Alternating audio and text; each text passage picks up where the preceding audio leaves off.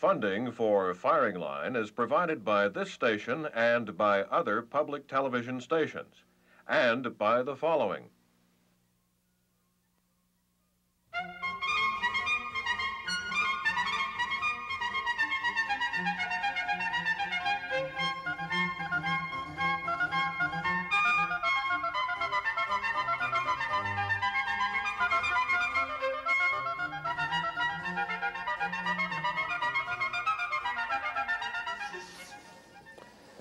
In February, almost a year ago, the newspapers divulged that the FBI had caught red-handed a half dozen congressmen and a senator accepting money as a bribe in return for favorable legislation.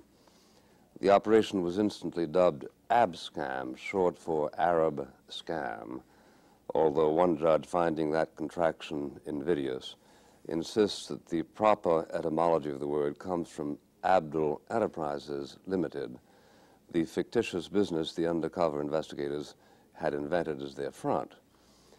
The modus operandi, now widely known, called for an FBI agent posing as a sheik, or as a sheikh's representative, to offer money, typically forty, fifty thousand dollars, to a congressman if he would undertake to sponsor legislation to permit a designated Arab into the country. Filming the entire transaction from the shadows was a video cassette recorder. Results so far, six convictions. Michael Tigar is the attorney who defended Representative John Murphy of New York, whom the jury found guilty as charged, but innocent of accepting a bribe. Instead, the jury said he had accepted an unlawful gratuity. It may or may not be relevant to deal with this distinction, but more generic issues are at stake, in the opinion of Mr. Tigar and in the opinion of a number of other critics of the Justice Department, including the ACLU. Michael Tigar is a formidable lawyer who was first in his class every year at Berkeley, has written widely in the legal journals, is the author of widely translated books and articles, and was editor-in-chief of the California Law Review. He has taught law at UCLA in Los Angeles, at SUNY in Buffalo, at Georgetown, has practiced with the firm of Williams and Connolly, and now has his own law firm in Washington. Our examiner today will be Mrs. Harriet Pilpel, the distinguished attorney about whom more in due course. I should like to begin by asking Mr. Tigar whether he believes the line is clear between paying a politician to perform public and private favors? I don't think that the uh, I don't think the line is clear. The fact is that a uh, a politician in his job, a congressman, is asked to assist citizens with all manner of problems. Some of those involve legislation and some of them don't. If the difference uh, that you are trying to get around is one between those things which directly involve the legislative process and those which are addressed to the private concerns of citizens, then there really isn't a distinction.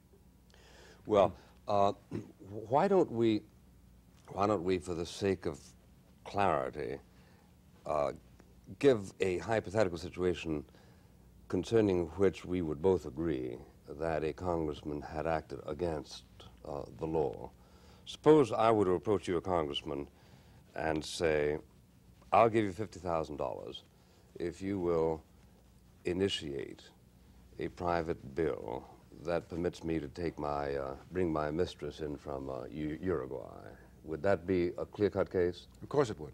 Mm -hmm. And if the congressman then agreed corruptly and uh, with the intent to go ahead and do that, to introduce that private bill, then the congressman would be guilty of bribery. Okay, now, suppose the congressman were to say, A, uh, I believe that the love that you have for this Uruguayan should be requited. Uh, I don't believe in being anti-Uruguay in our public posture. Uh, I would, under the circumstances, have gladly introduced this measure without uh, uh emolument. Uh, but uh, I, I consider your $50,000 a contribution to the general expenses of, my, of running my operation as a politician. I ask you both for legal and an ethical reaction to that line of defense. If the $50,000 is not a quid pro quo for any legislative act, then no offense has been committed.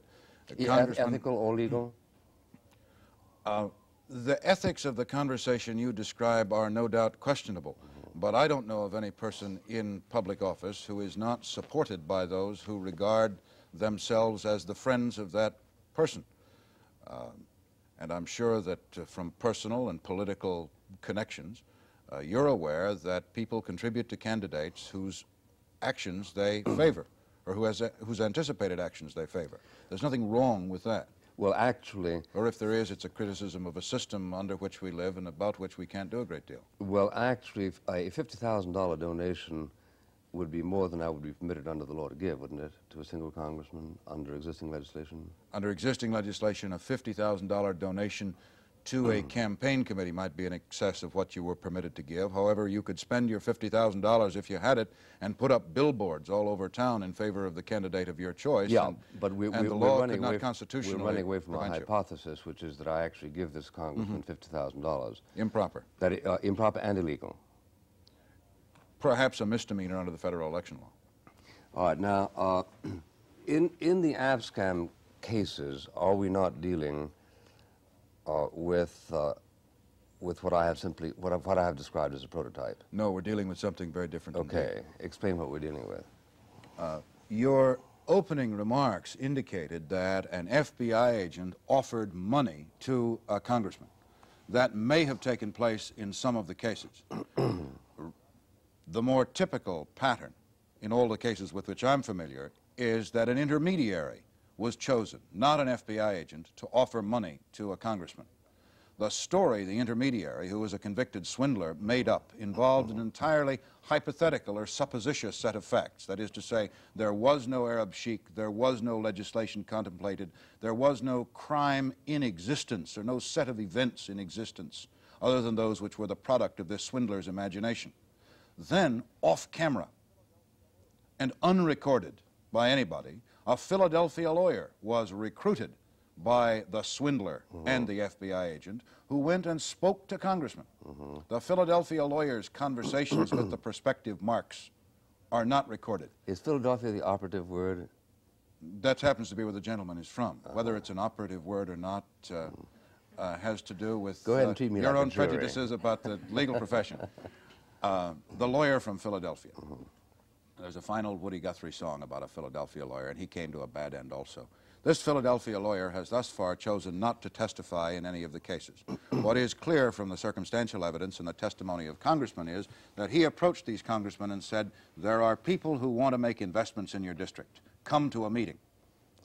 Any congressman, any senator uh, worth his or her salt would go to a meeting with people that said they had money to invest in the district.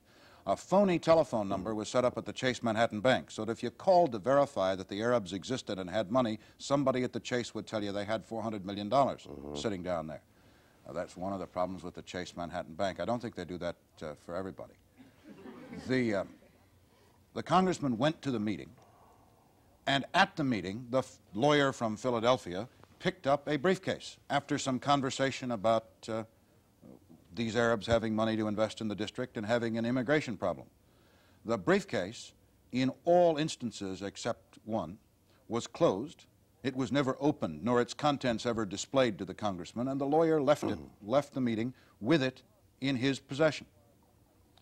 Uh, thus, while your hypothetical leaves no doubt that money is being offered and accepted, the actuality of abscam is that it's entirely supposititious and fictitious uh, set of events. That is, there's no real. You're talking about your client.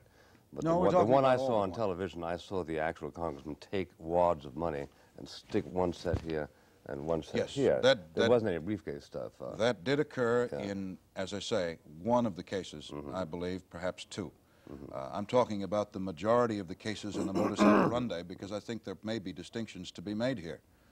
Uh, the question as to whether or not the congressman knew what was in the briefcase or whatever is entirely within the control of the FBI, and the point you make is a good one. The FBI agents had it within their power to dispel any reasonable doubt that the congressman knew that there was money, mm-hmm. and had it within their power to dispel any reasonable doubt that the congressman was making a corrupt promise in exchange for the money. All they had to do was put the money on the table and ask the question. that they did not do. Uh, two questions. Number one, you said that this act was the product of the swindler's imagination. Are you saying that the scenario was not orchestrated by the FBI? The swindler was offered a deal in exchange for helping the FBI. The swindler thought up the mechanism of abscam. He thought up the scenario. He thought you had to have Learjets and yachts and townhouses and apartments. The swindler was the one who got himself a cushy job for a year and was responsible for spending $3 million of the government's money. Oh, I d- I don't think either of us denies that um, swindlers make deals regularly with the prosecution. I saw one on 60 Minutes last night who calmly discussed the six people he had killed, uh, and um, he is um, le- leading, I take it, a comfortable life for so long as uh, as his whereabouts aren't uh, detected. So I don't think that's the point you want to make, is it that uh, the prosecution ought not to use an undercover agent? Or is it? I don't think that, it, that one can make a categorical rule the prosecution ought not to use undercover agents. What courts have traditionally insisted upon is that the use of an undercover agent is beset with such terrible, terrible dangers that it must be hedged about with all kinds of safeguards. Let's get me to my it's second the absence question. of safeguards. That gets me to my second question. Uh, a representative of the Justice Department, uh, in a story in the New York Times, said officials, uh, uh, this is a paraphrase, but the quotes are from the New York Times. Officials claim that they emphasized in each case the corrupt, illegal character of the activity to all who participated in a scam. Are you saying that this was not the case with your client, but was with the others? Well, the jury certainly acquitted Representative Murphy of any uh, having made any corrupt promise. So whatever that means is what it means. Well, why, why, why was the of the unlawful? In, in, why did the jury say that he had accepted an unlawful gratuity? In our view, it was because the judge's instructions to the jury were incorrect. But without getting into that question, that is to say, the judge instructed the jury that they need not conclude beyond a reasonable doubt that Representative Murphy got any money. Uh, I'd always thought that was an Me- element me- of the as long offense. as- as long maybe he- the Court of Appeals will, will tell me that it is someday. Mean, as long as he thought he got money. No, as long as his behavior towards the briefcase was sufficiently ambiguous. Uh, but, but your question was a more serious one. Yeah. That is to say, the quote from the New York Times is a statement by the Justice Department that all who participated in the scam were uh, Was said, better not tell anybody about this because it's illegal or something of that sort, right? I, I, I take it to mean something of that sort. no, no such script has ever been disclosed in any court proceedings in which agents have been summoned to testify under oath. L- let alone photographed. Let alone, let alone photographed. It is a, uh fact that the significant conversations, that is, between the lawyer from Philadelphia and the Marks, took place off camera so that we will never know what was said. I see. And it is also the fact that the controls on this swindler, as he made up scams, were minimal at best. Well, now, uh, you, you say that it was a part of the swindler's imagination to return to your formulation and went on to say that it was they, the swindlers, who dreamt up the, the necessary yachts and, and all, all the paraphernalia.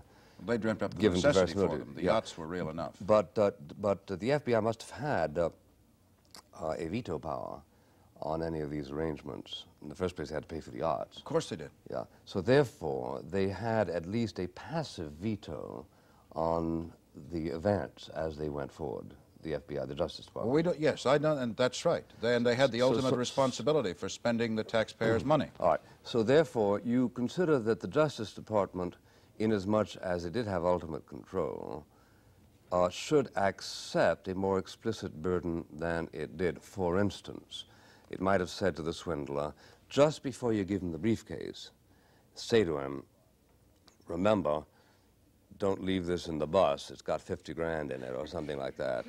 Or, or might also have said, and uh, remember, our lips are sealed, so that nobody will ever learn about this little uh, transaction between us. Something of that sort. something more serious is at stake than that. Surely such controls would be among those one would wish to impose.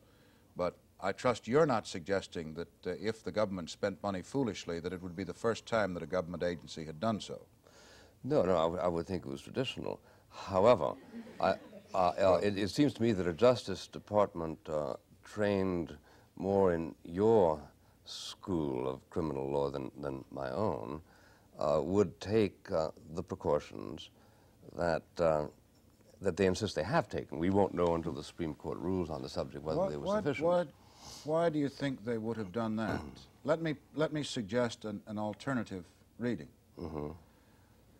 The Federal Bureau of Investigation approved the swindler's plan to go after congressmen. Yeah, Somebody drew up a list of congressmen who were to be approached. yeah, that's what interests me. And the question as to who's on the list and who's not is a mm-hmm. significant one. Mm-hmm. There's some reason to believe that the targeting had to do with the political persuasion of this or that strike force prosecutor. Heymann quotes, no one associated with the United States government ever picked any politician for the investigation. The middleman did all of that, end quotes. Do you have reason to doubt that? Well, I have the testimony under oath of the middleman. Uh, the middleman testified under oath that he got Representative Murphy's name from an FBI agent. So the Heymann statement is certainly incorrect. Uh, if Yes. This one, if, the, if, uh, but this time we believe the swindler, right? What? That he got it from the FBI The, the middleman, sometimes you call him a middleman, that's when you like him. Sometimes when you don't like him, you call him a swindler. But, but you believe this swindler's statement under there's, oath there's that he got substantial Murphy's evidence. name from there's the FBI. substantial evidence to corroborate uh, to corroborate that. Mm-hmm. But let's take the scenario a couple of steps further. The FBI decides that it will not have a script that requires an FBI agent to walk up to the congressman and say, "Congressman, here is the money, Mm-hmm. And we want you to make a corrupt promise. Will you do so?" In, you, in this case, because they did in other cases, we just agreed. Yes. Yeah. In the majority of cases, they didn't do that. Okay. Um, May I suggest a motive? surely. Uh, it seems to me that you have to judge, all confidence men have to judge a little bit the character of the people they're dealing with. And anything so explicitly theatrical as, I am handing you money illegally, would certainly make you wince a little bit and perhaps act more deviously than you otherwise might. So, probably to the extent that the person was sophisticated, they reasoned that it was unsafe to belabor uh, the felony that was being transacted. To say, let alone belabor. Yeah, because we don't know what was said before, right? You just Well, said we, that. that's right. We certainly don't know what was said before. So All what might, what might have been said before, you know, when they were out walking through the park was. Well, is, uh, is might have been enough to put liberty in jeopardy? No. You're not suggesting that. No, no. All right. I'm suggesting that uh, a juror, viewing that part which he saw in the videotape, Mm-hmm. has to decide whether he believes beyond a possibility of reasonable doubt the man was accepting a bribe, or in your case, an unlawful Let's keep gratuity. away from the jury for the moment, because Okay. one of the concerns we have about this case, that anyone ought to have, is the leaking of information to the press on a massive basis before investigations were completed or formal charges brought. What has the Blum, Mr. difficulty Blumenthal come up with? uh, that we don't know. His report's been turned over in camera to Judge Fullam. Why, why, why did you allow the trial to go on until you knew what Mr. Blumenthal had come up with, in as much as you consider it relevant to the question of uh, guilt or innocence or proper We, s- we sought the Blumenthal report. The Speedy Trial Act required us to go to trial within a certain period of time, and uh, we had thought that it was important to get the trial underway and have the matter uh, resolved. Uh, the Blumenthal report may require a new trial at one point, at some point. My only uh, notion for bringing it up is that given that media publicity, your use of the hypothetical juror who must is a little difficult because one has trouble finding 12 people who are, in Blackstone's words, indifferent as they stand unsworn. But let me, if I may, pose a question. Coming back to your notion, well, maybe a confidence man has to be a little more sophisticated than that. We are talking about our government, and we are talking about an agent trying to get somebody to commit a crime. The rules of the confidence man's game may or may not be appropriate to that.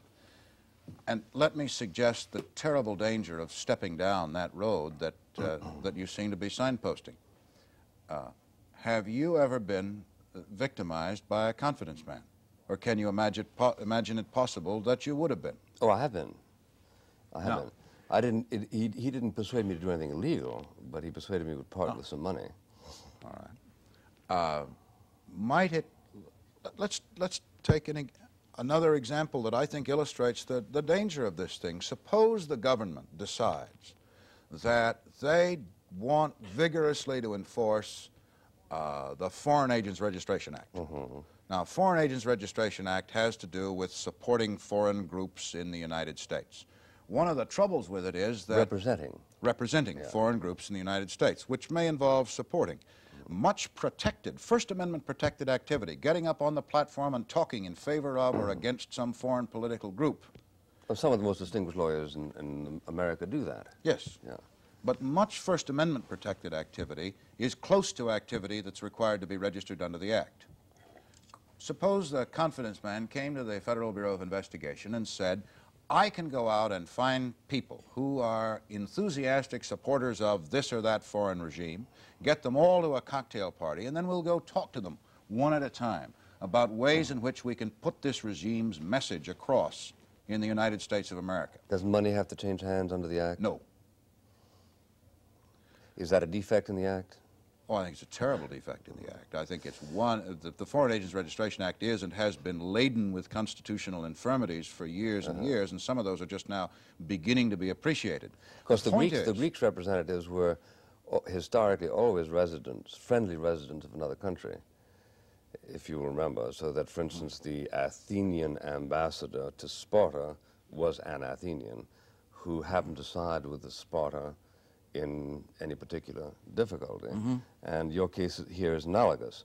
There might be, let's say, somebody who feels very strongly that Chile is correct in its controversy with Argentina Yes. and argues that case on behalf of Chile. You're saying that he might be charged with violating the Foreign Relations, the Foreign Agents Act? depending, depending upon the relationship to the Chilean government that leads one to, uh, to argue Chile's case on behalf of Argentina, even in the public press.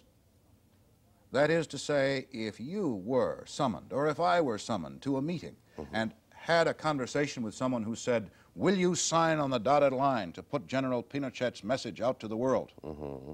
Well, we might very well say, well, Of course I won't. Mm-hmm. That'd be violating the Foreign Agents Registration Act unless I went down and registered, which I don't have any intention of doing. But the confidence man, to use your words, has to be a little more sophisticated than that. And the video camera is cranking while ambiguous things are said. As the level of liquor in the glasses at the cocktail Well, party. And he might say next time you apply for a, next time you apply for a copper franchise in Chile, I'm sure we can get it to the right person. That kind of thing. No, no. Which- that- let that- us let us that, that, that might be a quid pro quo, which would suggest that he was doing something for pay. my my analogy is simpler than that. It is. Uh, If a publicist is summoned no to quid a pro quo. no quid pro quo. A publicist is summoned to a cocktail party Mm-hmm. and agrees to undertake propaganda or to publicize the cause of the Pinochet regime in the United States. That's conduct which gets perilously close to trespassing on activity about which you're required to register under the Foreign Agents Registration Act. Well, now wait a minute, uh, uh, And Mr. I'm Tigar. It, it, may, it may very well be that you've identified uh, uh, a sleepy provision in a law, but can you can you think of its ever having been invoked? For instance, all the people who apologized for Stalin uh, and for, the, for his successors over the years, was any of them ever had up under the Foreign Agents Registration Act? None of those people were prosecuted under that act. They were prosecuted under a good many other acts, which Okay, involved okay. precisely. Well, let's use those acts then. The, uh, the use of the agent provocateur, the use of the infiltrator into political organizations. Well, why, why don't we come up with the word entrapment, which is really what we're dancing around? No, we're not dancing around that. Well, you refuse to use entrapment for very good reasons.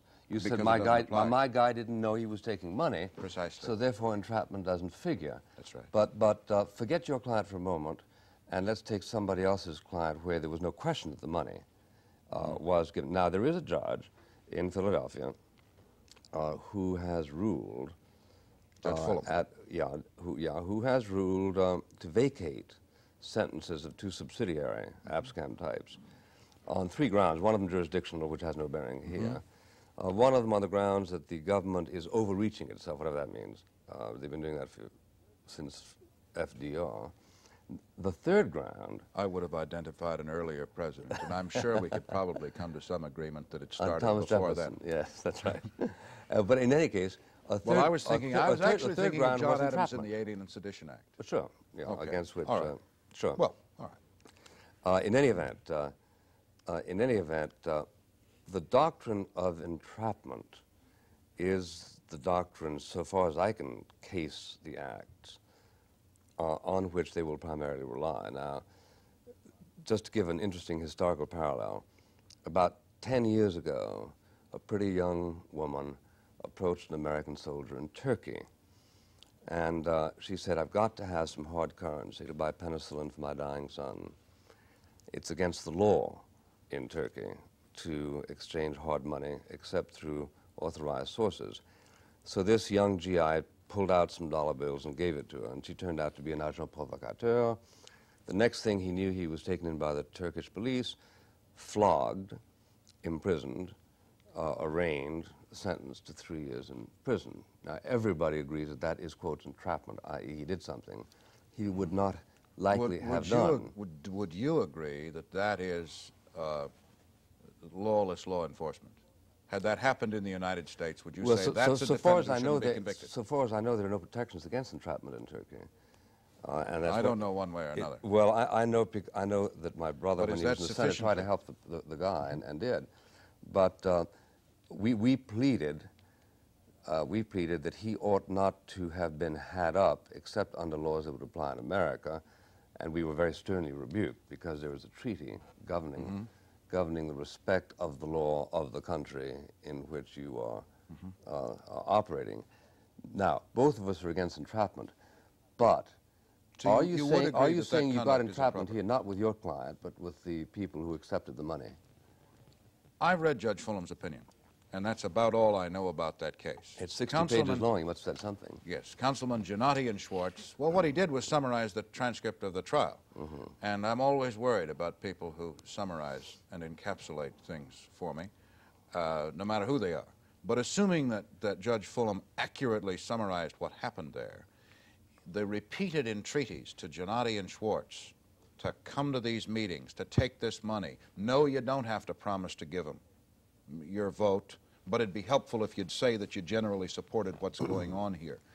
Uh, that conduct falls within the even the contemporary Supreme Court's definition of impermissible entrapment. Aha. That is to say that the a non-predisposed defendant was induced by governmental conduct to commit the crime. The You, so mean, not, not, you mean not, notwithstanding that the person who took the money said, I, I can't promise to do anything for you? No, the person who took the money did talk in terms of voting favorably on the Sheikh's zoning Yeah. proposal. Mm-hmm. There, the pitch was, we're going to build a 400-room hotel in downtown Philadelphia. That's what the Arabs were putting out through the succession of, of middlemen. Mm-hmm. Any Philadelphia city councilman that wouldn't go to a meeting where somebody was talking about building a hotel and employing thousands of people uh, probably shouldn't be reelected. Mm-hmm. Judge Fullam found, in short, a set of circumstances, the repeated imprecations, or the, the repeated uh, efforts to bring these folks in and get them to accept the money after initial refusals. And he said that, that amounts to entrapment. I don't have any quarrel with, uh, with that ruling. The reason we didn't say entrapment is that I think the government's conduct here is more egregious than that which is customarily associated with entrapment situations. Uh, more egregious in a sense you have specified or have yet to specify in this discussion. What I've yet to, to specify. What is it? In the classic entrapment case, there's no question that there is some behavior.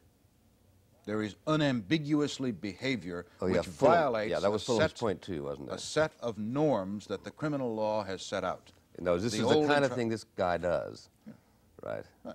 I, I beg your pardon. This was Fullam's point, that there was no other record of activity on the part of these mm-hmm. people that suggested that this was a behavior pattern. Well, no, that's, that's the predisposition issue. My point mm-hmm. goes beyond it. The, the first entrapment case the Supreme Court decided was a, a whiskey case. Mm-hmm. And uh, the FBI agent uh, or the prohibition agent came in and said, how about a drink for a thirsty tourist? Uh, uh, kept pushing on the fellow yeah. until finally he produced whiskey. Well, there really was moonshine whiskey being made. Uh -huh. And we know that there was because the government agent drank it. Uh -huh.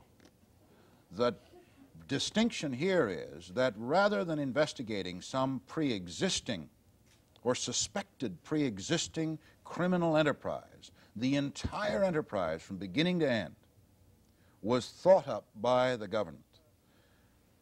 And the paraphernalia uh -huh. that were assembled to, to make the show look like it worked are the ones that, of which we've been speaking. In other words, they, they, crystallized a weakness that might have been latent uh, in all eternity. That's certainly one of the things they did. Mm -hmm. uh, but I was going to make two slightly different points. The first is that this is, with all of the crime, there is corruption in government. I'm just sure there is. There is existing corruption in government. And rather than deciding to root it out and investigate it, the FBI invented fictitious corruption and then chose a list of people to bring over and have a look at it. That is, at the very least, an inefficient use of government resources when we look at the total bill. As you said in 1973, uh, you compared the statistics on drunkenness arrests in Atlanta and St. Louis, 40,000 in Atlanta annually and 675 in St. Louis. You said you rather doubted that the quality of life was improved in Atlanta by the fact that there were 39,300 and some more drunkenness arrests there than there were in St. Louis. And your point was that in terms of the objectives of the criminal law, protecting life and property and finding out crime and going ahead and punishing it, that that just seemed to be a dumb way for government to spend money.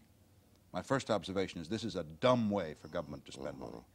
The second observation is that serious structural issues are raised when government creates the crime out of whole cloth, and that my concerns are intensified when it is the executive branch targeting selected members of the legislative branch, the very branch that has to approve appropriations for the executive branch. We risk, anytime you prosecute a legislator, we risk some disequilibrium among the branches of government and we risk endangering values we care about, such as some control of the executive branch by the legislature. But don't they target anyways routinely? IRS targets.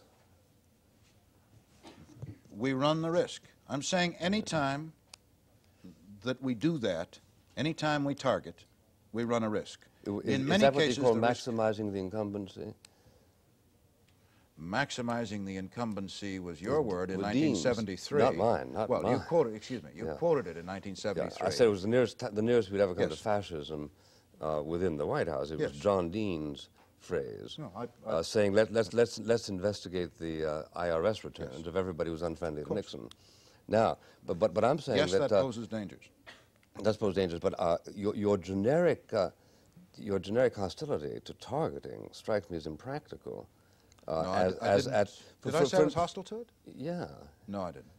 Well, your word, not mine. Uh, the, the, word targeting I said word. we run. You said no, here you have hostility is your word. I said we run a risk when we do that. Mm -hmm. I was about to say that in many cases the risk is acceptable. It's one we decide to run because if we didn't permit targeting, if we didn't permit some narrowing of focus, some choice to achieve law enforcement goals, we couldn't enforce the criminal law at all. Mm-hmm. However, one ought to ask in each case whether or not the choice of targets, the means by which they are selected, and the controls over the process is legitimate or illegitimate, a right or a wrong thing for government to be doing. And if we don't ask those kinds of questions, given the size and power of the federal bureaucracy, uh, I think we pose terrible dangers. And when it's the executive branch investigating the legislative branch, uh, those dangers are posed not simply to the li liberty of citizens at random, but to that kind of structural equilibrium between the branches that uh, I would have thought a conservative would be very sensitive well, to. Yeah, uh, the, the, you, you, lawyers like this slippery slope stuff. Uh, if you do this, then you're going to do this, then you're going to do this, then you're going to do this, and before you know it, we'll all be in jail. Also known if as you sing the Star Spangled yes. Banner. That's mm -hmm. that? Yeah. But now, uh, the fact of the matter is that we suffer greatly from crime.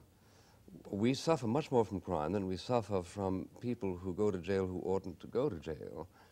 And as a conservative, it seems to me that that equilibrium uh, uh, distresses me. Let's, let's, let's say you're a police chief, and you know perfectly well that this man over here has been importing teenage girls of 15 from Minneapolis for the sake of running bordellos in New York. We know this happens. Uh, and, but you don't actually have the goods on him.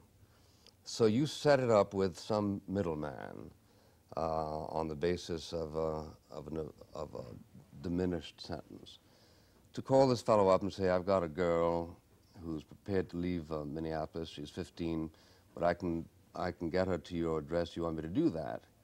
He says, sure. And he says, I want $1,000 for it. He says, okay, sure. Now, is this the kind of initiative that you feel no police officer or district attorney, to, uh, attorney should uh, exercise? Of course not. It, Did so, I say that? So, th so therefore, you do believe that initiative is justified even if the particular crime is synthetic, i.e., there was no such girl. There is a core, yes. That is to say, government uses ruses in law enforcement all the time. There is, as I said, this danger, and one asks in each case whether or not the danger ought to be courted. What are its dimensions, and whether or not it's a, a sensible one to run. Well, now, now, in your case, I would insist on more controls than you've indicated. But Well, let's assume I, all the controls. I gave you a short form. Sure. But uh, after all, the crime that these congressmen have been found guilty of committing uh, is a crime defined by them as a crime, not defined by the Justice Department. The Just, Justice Department's mandate is to see to it that the laws passed by Congress are observed. Now, Congress, somewhere along the law, pass, passed a law saying that people should go to jail if they are detected taking bribes in return for legislative favors or the promise of legislative favors. Now, you don't like the means by which an individual congressman uh, contracted to commit that crime. But at this point, irrespective of what you think about those means, don't you think that that congressman deserves, deserves to be in jail? Of course not. I was afraid you'd say that. we had this out in Buffalo one time in front of your seminar. Don't, do you not then apprehend a difference between government inventing a, uh, a situation, inventing a script, inventing the crime out of the whole cloth, and investigating through the use of a ruse a pre-existing, or at least suspected, Yes. a core But it of actual real-life criminality? It depends on the motives being appealed to. Now, if, if I were to go to a congressman and say, I know that you're not supposed to do this, but I want you to help so and so who's been trying to get out of the Soviet Union, and uh, uh, for various reasons, I want you to do something irregular. And, um, and I'm prepared to make a contribution uh, in compensation for your time, whatever, whatever, whatever. Now, uh, there are, I think, differences in how you would interpret the behavior of somebody who responded to a plea, the, the clear motivation of which uh, was compassionate, and somebody who responded to a plea, the clear motivation of which was avaricious. And uh, that is the kind of distinction that interests me morally. Whether you can codify it, I don't know. Uh, If it interests you morally, and I don't, I don't expect we'll resolve these questions, you should know that uh, in the Murphy situation, for example, the Arabs who were portrayed as wanting to come to the United States were to be the, the victims of the PLO if something ever happened in their country. Mm-hmm. They were depicted as friends of the United States. Mm-hmm. And the opening shot from the con man to Murphy as the camera zeroes in, the first time he ever meets Mel Weinberg, is we don't want a thing to happen to him like happened to Somoza and the Shah. Now, if you mm. know Representative Murphy, uh, you know that Somoza and the Shah are, are buzzwords for, for him. Mm-hmm. I don't agree with those politics, but he thought those were two quite distinguished uh, leaders of their respective countries and friends of the United States and people who deserve to be helped by the United States. In, in that case, why didn't Mr. Murphy say, "Well, I'll certainly, I'll certainly support a private uh, bill But don't talk to me about money and, and, and Well, what, what's in that support- briefcase. uh, he declined to support a private bill, said that uh, one would not be necessary, and uh, denied on tape that he ever had received any money, either from the agents or from the middleman. Uh, that somehow was not sufficient to carry the day. Uh, the briefcase was handed to this intermediary and portrayed as containing uh, legal documents and papers that were of concern to the attorney, so that one has all of these ambiguities. I don't Was- put that up was money, men, was money mentioned only in the in context the hearing of the jurors? only in the context of investments in the district. I don't mean to specially plead for a client whose liberty I'm sworn to defend. Yeah. What I do say is that the question of whether or not there's a reasonable doubt that Jack Murphy sold his office was in the hands of the FBI because they could have opened the briefcase and shown him the green. Mm-hmm. And the question in of which whether case, we, in which case you would have said he should indeed have been found guilty? I don't know whether I would have or not. Ah, Uh, sufficient unto the case is the answer that answers the questions you pose. The government conduct in setting the whole business up instead of investigating real life corruption, contaminates it in your judgment. in my judgment, it does. That's not to say that the voters of the district ought to return such a person who's shown taking the money to office, or that the House Ethics Committee shouldn't uh, kick them out of Congress and forbid them from ever sitting there again. But even if the briefcase had been opened and had the money been accepted, I would have said that the fictitious character of the government's scripting was enough to carry this beyond the outer limits of permissible government law enforcement conduct. And uh, would you say, would you say as much if it had not been a congressman, if it had been a banker or a businessman or, a, Of course. or whoever? well, that's one of the problems, Well, is then- that this technique is laden what- with terrible dangers for what about- not ab- just congressmen. What about this uh, sl- this uh, white slave traffic business? well, what would be an analogy for a magazine editor? A magazine editor summoned to a cocktail party given by the friends of some country, some regime. South Africa. S- Well, I, I wasn't Let's make it tough. All right. Uh, summoned to, I was going to say Chile, but uh, we've debated that before in, in correspondence that we've had. But take South Africa if, if you like. Uh, and the, the, the cocktail party is concerned with explaining South Africa's racial policies to the people of the United States. It's easy for me to imagine a scenario in which hmm. a skilled confidence man in that setting can manipulate somebody, our hypothetical magazine editor, into saying things and agreeing to do things on behalf of the racial policies of South Africa. And that, because of course he wouldn't write, come out and say, please be a foreign agent, and by the way, don't mm-hmm. register because the magazine editor's too clever. You're talking about an editor now, not, Yes, not, not a confidence man might induce the editor to say Mm-hmm. things which sounded like the editor was willing to do and say. Well, maybe the, editor, maybe the editor was convinced. After all, confidence men can also be engaged in behalf of virtuous causes. Well, I have no doubt. The I mean, problem you- is the Foreign you, Agents you, can hire, Registration you can hire confidence men to go out and raise money for the Red Cross. Yes. The Foreign Agents Registration Act makes no distinction between the virtue or lack thereof of the country on whose behalf you're acting. Mm-hmm. My point is that the danger to our hypothetical magazine editor is that in his zeal and in his agreement and in his willingness to, to do and support the cause, that this hypothetical confidence man and this hypothetical magazine editor could very well be videotaped engaging in a conversation, I think it's a the- pity. which would be evidence of violation of I think it's a pity that you act. rely on a law that's been on the books for 41 years and has never been abused. Uh, that, that It's been terribly abused. no, well, I mean, it has been abused in the sense that uh, you you depict it as potentially abusable. Many people have been prosecuted under the Foreign Agents Registration Act. For You that ask- kind of thing? Oh, yes. Uh, only only when money exchanged hands. That is not true. It's not true. That's right. There were prosecutions during the Second World War for. Uh, Oh my God! During the Second World War, we were shipping anybody with yellow skin to California or to Utah someplace or wherever Earl Warren We were them. taking, yes, they were taking away their land and, and putting them in camps and so forth and so on. I wouldn't have thought that, that one iniquity of that kind should have excused another. No, might but explain it. No, I'm simply saying that in time, in time, I think wartime is a bad time to cite the abuse of laws Oh, be- I- because they, they are.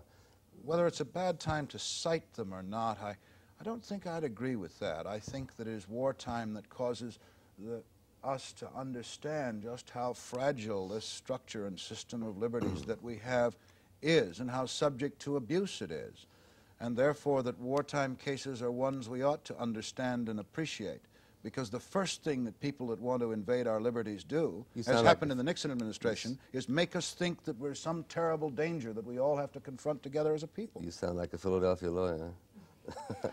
However, speaking of Philadelphia lawyers, north. Let's let's listen to Mrs. Harriet uh, Pilpel, well known to the viewers of this program, a distinguished attorney associated with Greenbaum, Wolff, and Ernst, a leader of the feminist uh, movement and an authority on just about everything. Mrs. Pilpel. Well, I'm not speaking as an authority about anything except the kind of country that I thought we lived in. I have been fascinated with the conversation between the two of you, but I don't think it has clearly emerged what really happens when you have the government engaged in manufacturing crime and snaring people to commit it. What it means is that the government, instead of trying to protect us in the exercise of free speech, free press, freedom of thought, is busily concocting situations in which people will be cajoled and persuaded into doing something which the law says is wrong. It isn't only what the harm done to the defendants amounts to. It is even more important what the harm does to our society. Because the kind of examples which you two have been talking about indicate that pretty soon, if this type of thing goes unchecked, you will never be able to speak freely because Big Brother will always be listening or may always be listening. I thought, Bill, particularly, that you felt one of the great advantages of a democracy like the United States over some unnamed countries that are not democracies was that here the end does not justify the means. No, no, I never said the end does not justify any means. Is the correct Well, I think in this case, the argument is that the end justifies the means which Mr. Tigar has described. And if they justify those means, then it's hard to think of any means they do not justify. Do you feel Oh. that we should live in a society where government is snooping around, creating Adam and Eve situations? In other words, ser- being the serpent. There they are, happily living, but the serpent comes along and persuades somebody to do something which he wouldn't otherwise do. No, Is that the way you want your law enforcement people to behave? No, you, you, um, you, you put an artful rhetorical construction on your formulation. You have to remember that there are people who were approached by these middlemen who said, get out of my office. And there are others who said, I'll, I'll take the money. Do you think people will notice it as they waddle out? uh, uh, that was the one thing that disturbed one congressman. The, uh, you know, what it did to his profile, his sartorial profile. Would you tell me the basis Now, uh, on which the FBI I- I, don't think that if you were in Congress and somebody came to you with that deal, that that would be a very long conversation. And that this distinguishes you from people who ought not to be in Congress. Well, what you're convicting these people for is perhaps insufficient strength of will to resist almost overpowering That's temptation. exactly right. But there is crime going on in our streets. That is a crime. You said That is a crime. when you said we're worried enough about crime or crime is our problem, which you said earlier in this program, mm-hmm. when people subscribe to that statement, they're not thinking of this kind of crime. They're thinking of violent crime. I would like to ask you whether you think that the FBA and the United, FBI and the United States government and the Department of Justice have enough time to prosecute the crimes that actually exist, particularly crimes of violence, without entering into a lot of money expenditure and time expenditure to create white collar crimes. Mrs. Pilpel, in reaction against what would consider the excesses of J. Edgar Hoover in looking after certain kinds of crime, a commission was established in 1975 by Attorney General Levi, and that commission recommended going into, quotes, organized crime, white collar crime, and political corruption. The assumption was that organized crime was in most cases protected by political corruption, and the probability is that that is true. Now, On to the extent are to the extent that? that you root out political corruption, you move in the direction of organized crime. I'll give you an example. They did exactly one of these Abscam things up in Boston by setting up a fence who promised to buy all kinds of stolen goods. Oh, the stolen goods were brought in. The guy who brought them in was arrested. A lot of publicity was given. Had the government and crime, stolen the and goods? crime, crime went down by, by a factor of something like 85 But, what, but a crime was committed there that had not been manufactured by the government. We're talking here about crimes which did not exist. There has been nothing said so far as I know, and I don't think Mr. Tigar, who knows much more about this than I do, knows of any situation where any of these people had been predisposed to commit these crimes or had committed any crimes. There, there was this group of people in Well, you Washington. can say that somebody who murdered somebody was not predisposed to murder, and they But never murdered anybody before. I But the have no idea what the law would provide in a situation where the FBI came in with all the force of the government and all the money that it could spend and said, It is your duty to kill this man, and here's a gun, and we'll hold your hand and we'll help you pull the trigger. At that point, I really don't know that that man would be guilty of a violent crime, and I don't think you think so either. In this situation, we have defendants who, so far as has been pointed out by anyone, have not committed any crime at any time other than a cr- crime in quotation marks no, what you're what you're manufactured by the government with our money. You're saying they have no criminal record. Why don't you say it No, I'm? I'm not saying that. I'm saying that I know They of have no, criminal record, but you don't know whether they've committed crimes or not. No, but I do know that no We- we- evidence. We, do, we do know that it took only $50,000 to persuade them to commit a crime. But I do know that no evidence has been introduced to show that these people had ever done anything wrong before. Well, who's talking about may, maybe for that reason they'll only get a two-year sentence instead of a seven-year sentence? Well- uh, the fact of the matter is uh, that uh, uh, we've had now four or five trials in which there have been convictions. Nobody seems to have challenged uh, the, the the behavior of the trial judges. I'm sure you will. Well, they're all on appeal, as far Well, as I know. everybody appeals everything. Uh, But that you can't just dismiss it that way. There are serious errors alleged in these appeals, and my guess is that there will be reversals in many of them. And one judge has already set aside the convictions. But may, may I interrupt just to ask a, a question? A, a wise man said in, in this book um, that it was the job of government to protect life and property. Yeah. And I would have thought that translated into the field of criminal justice, that the goal of law enforcement is to ask the question who is doing wrong and how can we punish it, and not who can we convince to seem like they are doing wrong in the presence of a video camera. That is, the first question is quite enough to occupy the attention of government. And if indeed the Levi Commission conclusion is let's go after political corruption, mm-hmm. then why doesn't the FBI go out and find some? Instead of selecting a group of people to parade before the video cameras Well, I think they to see if they can invent I think they just the have. suppositious I political think- corruption. I think they just have. What, some, some indwelling notion, some willingness to stumble, some mm, ability or Right. willingness to fall for a con man's trick at some point in front of Now, a look, video camera after you've if you admitted if you, that if, you might do that? If you have a practiced embezzler who has never been convicted, and you set up a situation You don't have in which it makes it possible to here. convict him. But No, you don't. You no, no, have no. congressmen here. We- we- There's no indication that these congressmen have practiced anything except congressmen. Now, Ms. Pilpel, you don't know that, and, and I don't want to say anything, anything I- here that sounds in videos, but uh, neither you nor anybody in this room knows whether these gentlemen succumbed to temptation for the first time in their lives. But we know what the records in the cases show. The convictions are based on records in court. There is nothing, as far as I know, in the court records that shows that these people ever did anything like this before. And so, for the purposes of these cases, that is conclusive. Isn't your the argument last, the Salem last, argument? Last weekend, the New York Times reported that one out of 100 people who commit felonies in New York City uh, receive a jail term.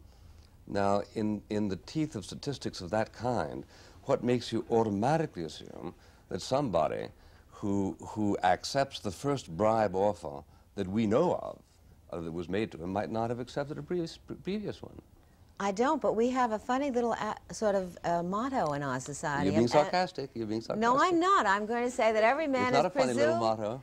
All right, I think we have an important principle in our society that every person is presumed innocent until So with these proven people, guilty. they've just been convicted. No, but they were convicted of something which they were persuaded to do, assuming they were persuaded to do it. And I'm not passing on that, and I think there's a big question as to them. But even if they were, even if they were persuaded to do it, they were done, that was done to them in violation of their rights as American citizens. I do think it might be worthwhile to mention that document, which I think you admire equally with me, the United States Constitution.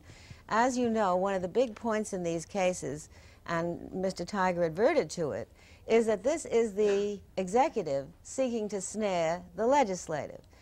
It was considered so important at the time of the adoption of our Constitution that the departments of government should be separate, that hmm. Article 1, Section 6 says that no legislator can be questioned in any other place for any speech or debate in either house of the legislature. Is that why you oppose the Watergate investigation? I don't recall taking any position on the Watergate investigation. I do. Although, although I would not have opposed it. Uh -huh. The fact is that Article well, they, 1, Section 6 of the Constitution indicates a concern against the executive terrorizing the legislative, and that is what has been done here. I would like, however, to go back to a question I asked you no, before. Be, no, that's a little hit and run. That's a little hit and run. You, you're not suggesting, I hope, that Congress should be immune from adherence to the laws that apply to the rest of Certainly us? Certainly not, but I think okay. Congress, like the rest of us, should be immune from the sort of entrapment and, and overreaching on the part Look, of the if, government, which took place in this case. the courts will throw it out. Well, that's what but I think they far, will do. So far, on all motions, uh, the ruling has been that it was not entrapment. No, as Mr. Tigar pointed out, one of the None convictions of the motions except Judge Fullam's motion have actually been ruled on yet by the trial judges as we sit here today. And his was in favor of the defendants. Mm -hmm. So that the, well, the, the, record is pretty clear that okay, there let's, is let's just every say chance the, they will be satisfied. Let's just simply agree then that the Attorney General of the United States and the Solicitor General consider that it is not entrapment. Well, I don't the know. highest law enforcement officials in America and both Democrats. Well, and both civil libertarians. Well, the, all the defendants are Democrats also. I don't know whether that proves Yeah, that, that interested me very much. I was wondering whether we'd have time to dwell on that.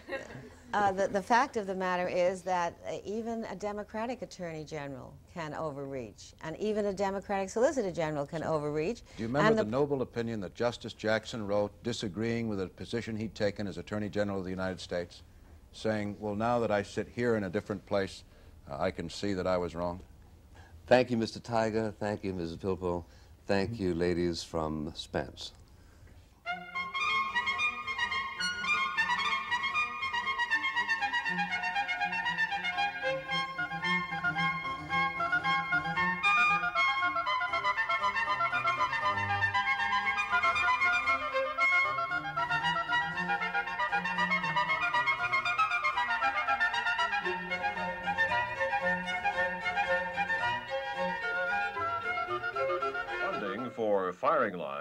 Provided by this station and by other public television stations, and by the following.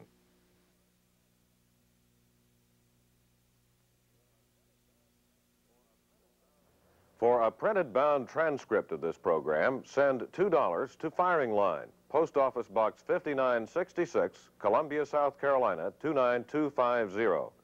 Indicate the subject of the program and please allow three weeks for delivery.